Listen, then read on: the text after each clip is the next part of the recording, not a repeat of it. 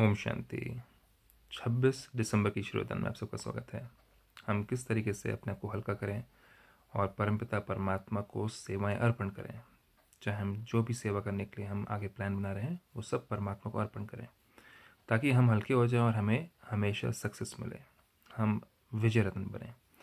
तो सफलता मिले कैसे? उसके परमात्मा कहते हैं, सेवा को बाप के आगे बुद्धि से अर्पण कर, स्वयं निश्चिंत रहने वाले सफलता स्वरूप भवा। कि अगर आप सेवा के प्लान्स बना रहे हो और उसमें अगर कोई हलचल आती है, अड़चन आती है तो आप क्या करो, परमात्मा पिता, आप इसको ले लो। मुझे नहीं लेना, मेरे को आपको बस याद करना है, मुझे कोई व्यर्थ संकल्प इम्प्योर संकल्प नहीं क्रिएट करना है। तो परमात्मा कहते हैं, कोई कैसी भी मुश्किल सेवा हो, लेकिन उस सेवा को बाप के आगे बुद्धि से अर्पण कर दो। कि मैं अपनी निर्णय करने वाली बुद्धि नहीं चलाऊँगा या चलाऊँगी? मुझे नहीं सोचना है कि क्या करना है, कैसे करना है, होगा नहीं होगा, ठीक है कि नहीं है, ऐसे करूँ कि ऐसे करूँ।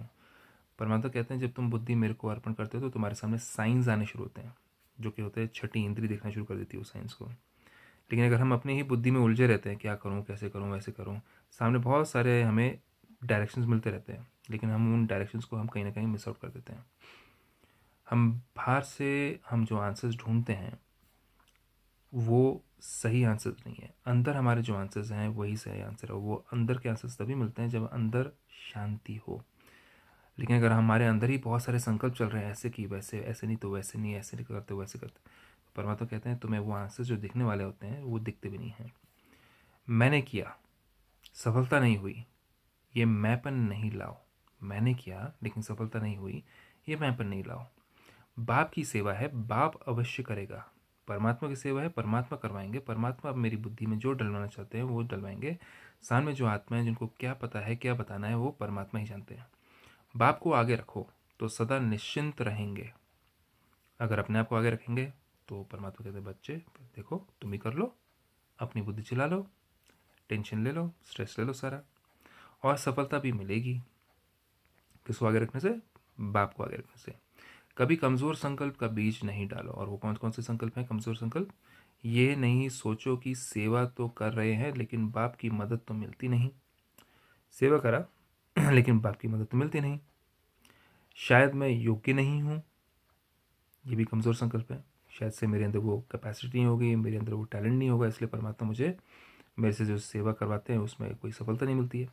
ये भी व्यर्थ संकल्प है जो सफलता को दूर कर देता है, अपने आप को डाउट करना, परमात्मा के कार्य को डाउट करना, क्योंकि मैंपन कहाँ से आ गया? परमात्मा का कार्य चल रहा है तो मैंने किया, ये कैसे हो गया? परमात्मा करवा रहा है, परमात्मा जानते हैं मेरी बुद्धि में क्या समझाना है, क्या डालना है।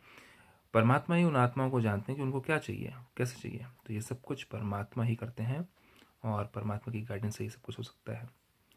और परमात्मा ही हैं जो कि जादूगर हैं जो कि रत्नागर हैं, जो कि कभी भी किसी समय भी कुछ भी कर सकते हैं, उनकी इच्छा है, लेकिन हमारा दिल साफ़ होना चाहिए, मन साफ़ होना चाहिए। लेकिन अगर हमारा अंदर मैंपन है, मैं कर रहा हूँ, मेरे से ही हो रहा है तो फिर उसमें हम परमात्मा की शक्तियों को, परमात्मा के सिग्नल्स को हम ब्लॉक कर देते हैं, जो वो हमें यूज़ करते हैं गाइड करने के लिए। तो बाबा, परमात्मा पिता, करूँ कैसे? क्या करूँ? अब क्या करूँ? अब क्या करूँ? करना चाहिए, नहीं करना चाहिए? यही परमात्मा हमें बोलते हैं कि मुझसे जुड़े रहो ताकि मैं तुम्हें गाइड करते रहूँ, तुम्हारी छठी इंद्रियों को मैं, आत्मा को मैं तुम्हें सिग्नल्स भेजता रहूँ। लेकिन वो तभी मिल पाएगा जब हम अंदर से शांत होंगे, अंदर से बहुत सारी हलचल नहीं चल रही होगी। अंदर शांत तो आंसर मिलने शुरू। बस, फिर निश्चिंत, चिंता मुक्त, क्यों क्या, कैसे में नहीं जाएँगे, उलझेंगे नहीं, अपने ऊपर डाउट नहीं करेंगे।